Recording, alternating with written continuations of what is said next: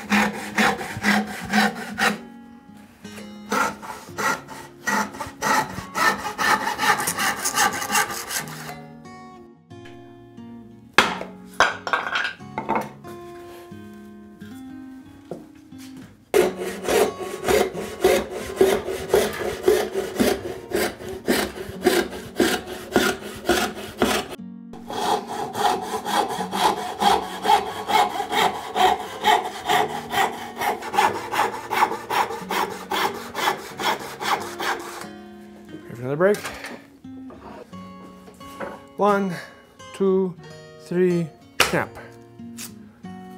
Just like Mama used to make. Looks very comfortable.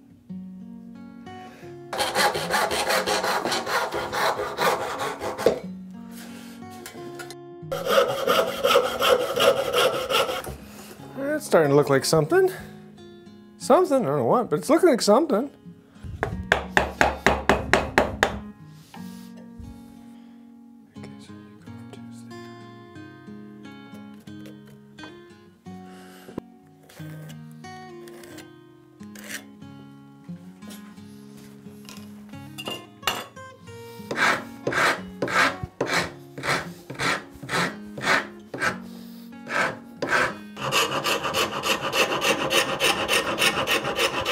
Mm-hmm.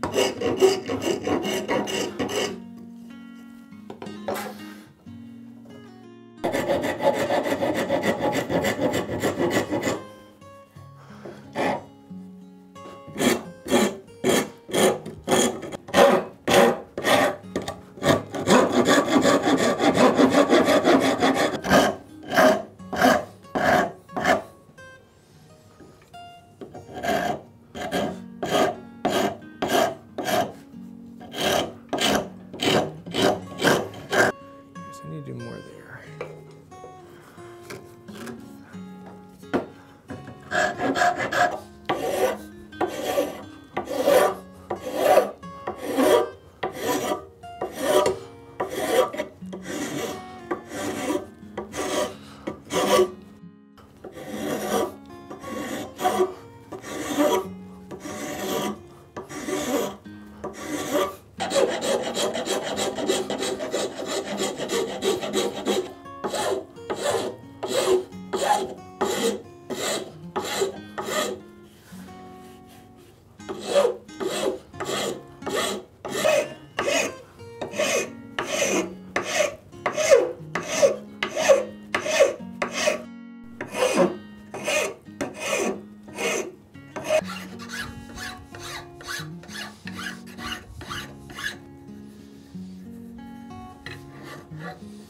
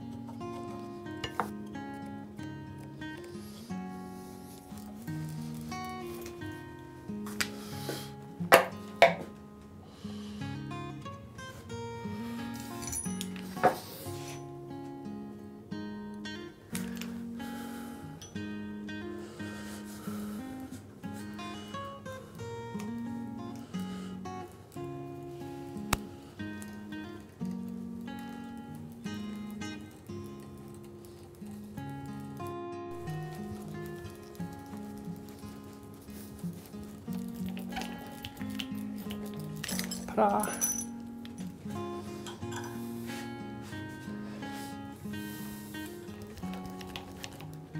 You see it?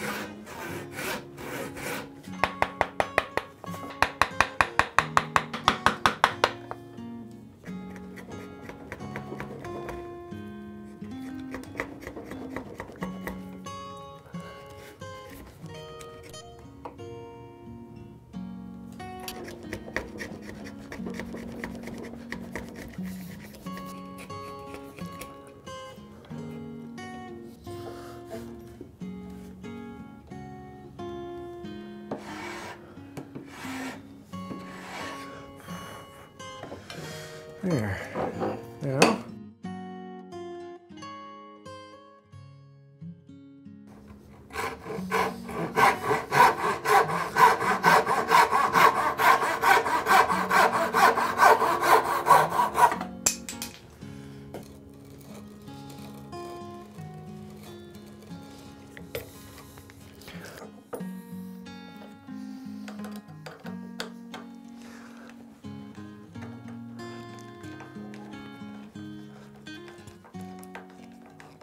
Here it goes.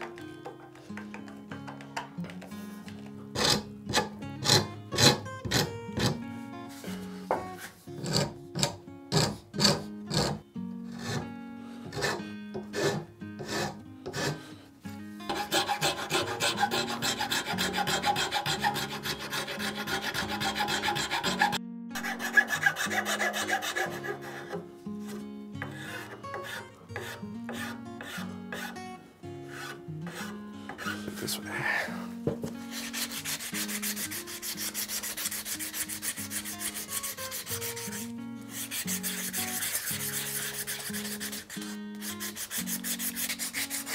because this is something that's held in the hand, it's something you gotta constantly feel. As your eyes will betray you, but your hand will.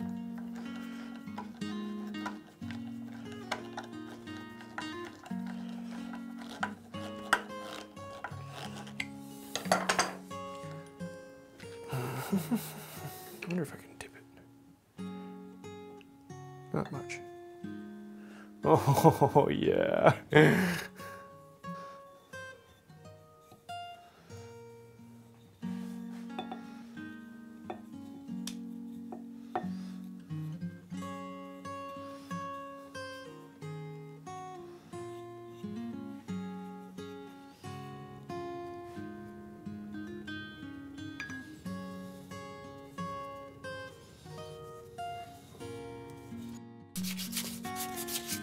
I was just recording a bunch of nothing there. Sorry.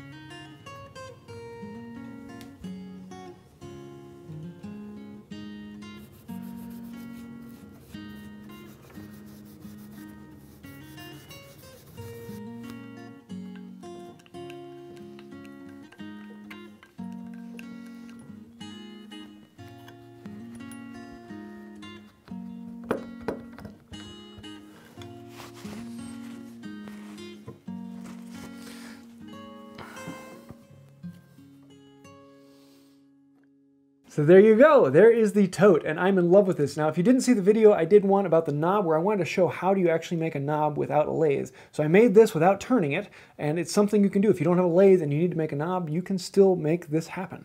Now, this whole project is for a friend of mine. Uh, he's actually a fan of the channel. He sent this to me so that I can make the knob and tote and do a video about this, and now I'm going to send it back to him. We do still have the original knob, but we don't have the original tote, and we didn't have the screw that locked it down in. And that was something that was really hard to find. And where do you find those rare parts? Well, if you want to find rare parts, I have a website set up called handtoolfinder.com. And on there, I have a whole list of online sellers and collecting groups and things of that nature. And I went down through the list and I contacted a few of them and found a guy who had the parts that I needed. So if that's something you're looking for, go to handtoolfinder.com and you'll be able to find all the parts you need for any particular rare tool, which if you've never seen one of these, they are very rare and very expensive. Now I know, yes, zebra wood is not the original wood for this. I know it is rosewood, and we do still have the original knob, so we're going to be saving this. So if someone does want to make a matching tote in the future, they can. But man, that looks good, and I really, really like how this came out. Um, so yes, I, I, think I may actually end up using zebra wood in the future. I think the only weird thing is that the, the lines go this way and then the lines go this way. Um, but maybe we'll have to fix that in some way or another. So if you do like these videos where I don't talk, then stay here. Soon I'm going to be moving all of the talking videos over to Wood by Wright 2. And if you do want to see more detail and how to exactly going into this, and I talk through this step by step and talk about why I did what I did and what's the thought process behind it and how this all works out, head over to Wood by Wright 2, and that is where I do all of the, the talking videos. And soon all of those videos are going to be moved over there. So if you like that, then head over to Wood by Wright 2. If you just like the, the standard music in the background and, and easy listening, then stay here. That's what these videos are all going to be. So I hope you like this. If you did, please let me know down below. Like, comment, share, subscribe, ring the bell. Those really do help out the channel, and thank you for that. That means a lot to me personally. So I think that's it for now. Until next time, have a wonderful day. Oh, wait. You want, you want me to read something out of this book? Okay. What did the ground say to the oil worker? You bore me.